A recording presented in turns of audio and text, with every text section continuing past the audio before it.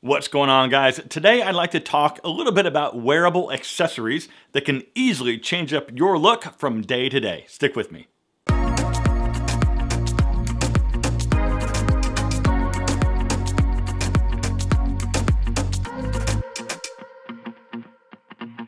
All right, welcome back. It's great to see you, and as always, I'm glad that you're here.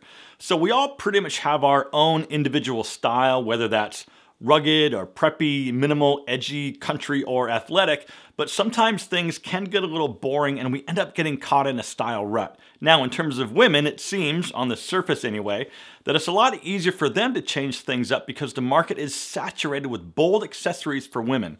And since most women have longer hair, they can easily put it up or style it differently to change up their look on a daily basis. For us men, we can't utilize a lot of those same options or opportunities, but we do have options, although a little bit more subtle. That's why I wanted to make this video to call attention to some of those options that we do have. Now, first up, while this isn't necessarily an accessory, it's more of a general statement or nugget of advice that I did want to pass along right up front, and that is to take a risk and try something new. Try something that freaks you out a little bit and maybe even try a color that you normally wouldn't wear. What you might find is that people start complimenting you on that new thing, and that means you just found a brand new favorite item that you wouldn't have otherwise found if you didn't take that first risk. Now, you also might find that the risk you took was a miss, but that's okay. You'll get hits and misses when you step outside your comfort zone, and that's totally okay. It's just clothing. Guys, I get hits and misses all the time, but that's how you figure out what works and what doesn't. It's all part of that growth. The difference anyway for me is that when I miss and I film a video wearing something, a lot of you guys rip me up about it in the comments, but that's fine because I'm not afraid to try new stuff and neither should you. Listen, sidebar, if you get something out of this video, please consider subscribing and hitting that thumbs up button because the entire premise around this YouTube channel is to help you realize that it's never too late and you're never too old to make a change in your life or start something new. All right, let's jump into the rest of my list of wearable accessories that you can experiment with. And the first up is glasses. Now, some of you guys know if you watched my EDC video, Everyday Carry, uh, that I posted on New Year's Eve that I wear contacts and glasses, and I have been since about middle school. Now, I wore glasses for about the first few years and then transitioned over to contacts sometime maybe in early high school. Now, I currently have a few pair of reading glasses as well as a few pair of different regular glasses. So when Glasses USA reached out to help sponsor this part of this video, it really made perfect sense because guys, like it or not, as we get older, me included, our eyesight starts to diminish and we only really have a few options. It's surgery, contacts, or glasses. Glasses USA has got over 6,000 styles of eyeglasses and sunglasses, including some pretty cool in-house brands, as well as designer brands like Ray-Ban, Oakley, Armani, and Gucci. Guys, they cut out the middleman and offer prescription glasses at up to 70% off retail prices. They've got complete glasses, frames, and lenses that start at about $30.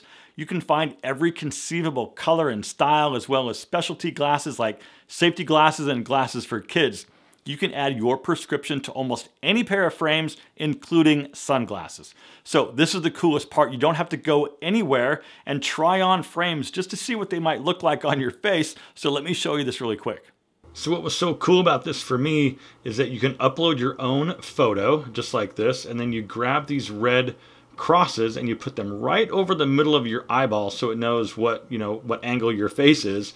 So when you go back all of the glasses every single pair uh, is appearing on your face. So i thought i was more of a round frame guy but most of what i picked were these square frames. I was actually pretty pretty amazed because my readers are round but what i liked most was square so hit that link down below in the description to get 60% off your first pair of glasses. Also, if you're interested, I'm gonna try to put links to the four specific frames that I own. Next are watches. So wearing a watch, in my opinion, is one of the best accessories that you can incorporate.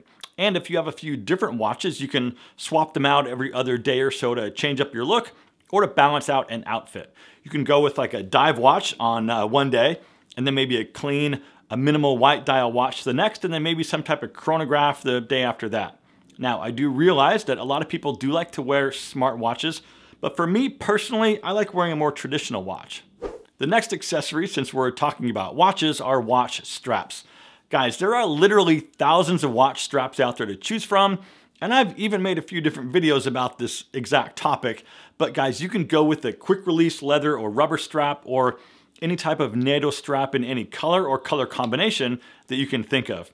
They're super easy to swap out, and a lot of the new straps even come with new spring pins and the spring pin tool.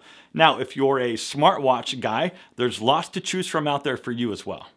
Next up, we have hats. Now, truth be told, I'm not much of a hat guy myself, but I've heard from a lot of you guys that are. And I do believe hats are a great way to accessorize.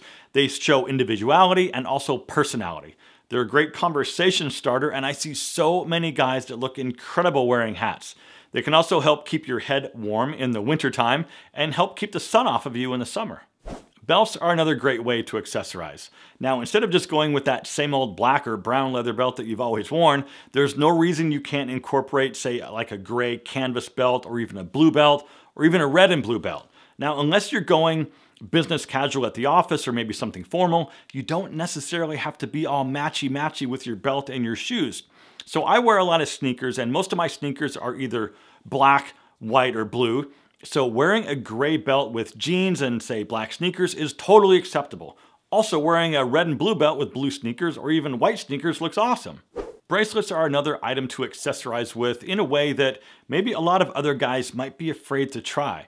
Now, I would suggest keeping bracelets to a minimum and not stacking like five of them up all together. Now, I do see that from time to time, but I think it looks a lot better in Instagram photos than it does in person. Guys, a simple beaded bracelet or even a metal cuff can look pretty classy and interesting in my opinion. Since we just mentioned wearing a cuff, try wearing cuff links more often.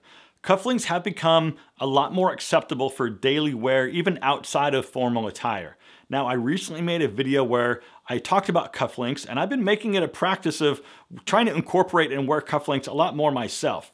So I recently went to a few Christmas parties this year and I wore cufflinks. And as far as I could tell, I was the only guy wearing them. And it was actually kind of interesting and fun to watch people that you're talking to notice them and then comment on them. Wearing rings is another subtle way to accessorize. Now, I kind of feel like you're either a ring guy or you're not, but even though I'm not necessarily a ring guy, that doesn't mean that I can't still recommend it to those of you who might want to give it a shot.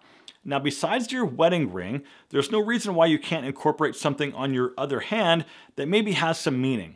So, for example, guys, my grandfather wore a ring, and when he died, my father got it. And then when he passed away, I got it. It's a really meaningful ring, as you can imagine, and I have worn it on a few occasions, but actually I haven't in quite a while. But if I ever want to accessorize with an additional ring on my right hand, it's there if I need it. Going with a pocket square can instantly set you apart from the crowd in a great way. Now, even if you know nothing about style, when you're wearing a sports jacket with a pocket square, you instantly look more stylish. And if you're not afraid of color, you can add a little pop of color with a pocket square. Now, it doesn't have to be crazy or anything like that, but just a little hint of colored fabric on your breast pocket can go a really long way. Now, fold it yourself though. Don't buy those pre-folded perfect ones that are stuck on cardboard. The beauty of a pocket square is that they're not supposed to look perfect. Once again, big thanks to Glasses USA for supporting the channel and offering this audience a great deal, so be sure you hit that link down below in the description and go check them out. Also guys, if you're subscribed, and I hope you are, I'll see you in just a few days for a brand new video, but until then, live well, and I'll see you soon.